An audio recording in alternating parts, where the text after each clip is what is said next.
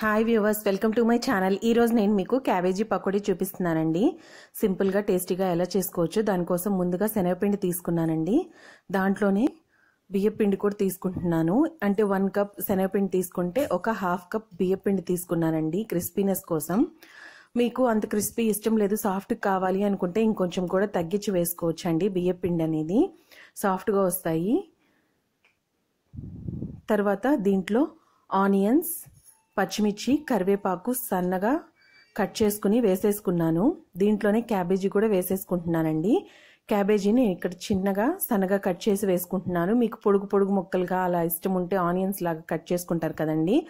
అలా కట్ చేసుకోవడం ఇష్టమైతే అలా అయినా చేసుకోవచ్చు అండి నేను ఇక్కడ పిల్లలు పొడుగ్గా అలా కనపడితే తినరని నేను ఇలా చిన్నవిగా కట్ చేసేసుకున్నానండి. పకోడీలో కలిసిపోతాయని. తర్వాత సరిపడినంత సాల్ట్ వేసేసుకుంటున్నాను. ఉప్పు చూసి వేసుకోండి. లేకపోతే మరీ ఇదిగా అనిపిస్తాయండి. ఉప్పు ఎక్కువగా అనిపిస్తాయి. తినలేము. కొంచెం కారం అండి. ఆల్రెడీ పచ్చిమిర్చి వేసాను కాబట్టి కొంచెం కారం వేసుకున్నాను. మీకు కారం వేసుకోవడం ఇష్టం లేదు అనుకుంటే పచ్చిమిర్చి ఇంకొంచెం ఎక్కువ వేసుకోవచ్చండి. టేస్ట్ చాలా బాగుంటుంది పచ్చిమిర్చితో కూడా. అల్లం వెల్లుల్లి పేస్ట్ ఒక వన్ స్పూన్ వేసేసుకున్నాను.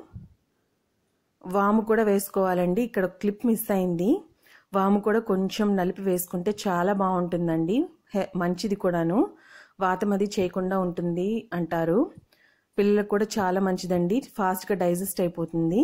ఇలా కలుపుకున్న తర్వాత కొంచెం కొంచెం వాటర్ వేసుకుంటూ కలుపుకోవాలండి. పకోడీ పిండి వచ్చేలాగా అంటే పకోడీలు వేయడానికి వీలుగా ఉండేలాగా పిండిని కొంచెం కొంచెం వాటర్ వేసుకుంటూ కలుపుకోవాలి. మరీ లూజ్గా అయినా బాగుండదండి. ఆయిల్ ఎక్కువ పీలుస్తాయి పకోడీలు. చూసారు కదా ఇలా మనం వేసుకోవడానికి వీలుగా పకోడీలు వేసుకోవడానికి ఈ పిండి ఇలా ఈ టెక్స్చర్లో ఉంటే సరిపోతుందండి. ఆయిల్ హీట్ ఎక్కిపోయింది. వేసేసుకుంటున్నానండి. లో టు మీడియం ఫ్లేమ్లో పెట్టి వేసుకోవాలండి. చిన్న సైజ్ పకోడీలా వేసేసుకుంటున్నాను.